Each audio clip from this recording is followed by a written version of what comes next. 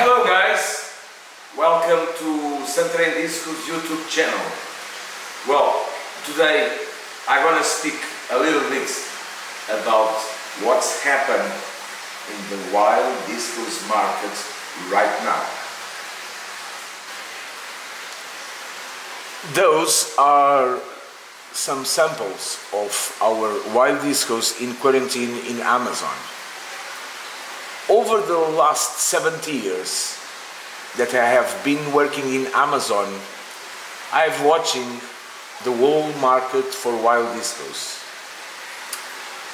I have come to conclusion that has a little evolution. The wild discos collecting season starts this year in the second week of October. But incredible, they are already wild discos for sale in the distributors in Europe and Asia. I remind you that is the beginning of December right now. Wild discos have different type of parasites and some have a life cycle of more than 14 year, 14 days.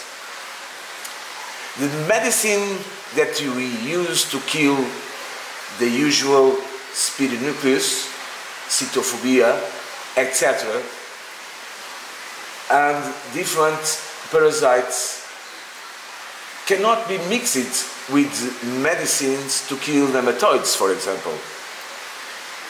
The last few times we had one of the most reputable research on fish disease, Hector Gutierrez, teach us that the life cycle of some parasites is sometimes more than 14 days. So medicine has to be done repeat over that time, not just once for five days, for example. A medication for each type of parasite that we usually find in wild discos. For this reason, the quarantine is necessary for at least three months. Otherwise, thus, we import and sell wild discos in a few weeks. We want the customer to bring parasites for that aquarium and problems. Like you see, we have a lot of wild discos. We have over 1,015 wild discos from the best selection I have ever made, fish by fish. But we don't have to pay to sell. It's not to come to our company export. That is how we have been working in the last 70 years. And this, this is how our wild discos have been successful in the homes of customers in these aquariums who are royal and only buy wild discos from us. I'm not even going talk about bacterial problems of stores that import fish of various origins between wild discos and hybrid from Asia or Europe. What's happening in that stores is not of public domain. Many people can in, can't imagine the results of vari various imports from different parts of the world in the term of bacterial problems. That is always the hobbyist who suffer the most. For the importer is to arrive at the company the wild disco and export it. For the retail,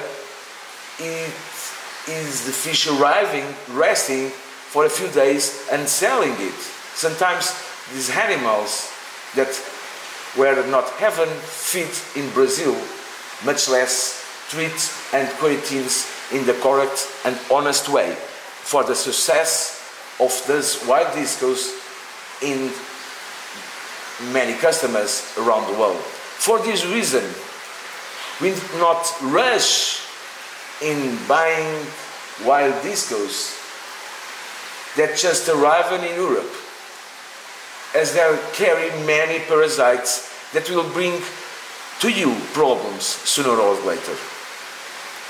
Wild discos are to be well quarantined and sold after a few months. Otherwise, you will see your wild, wild discos slimming, thinning Uh, after a few months and your hobby will become a problem. Thank you.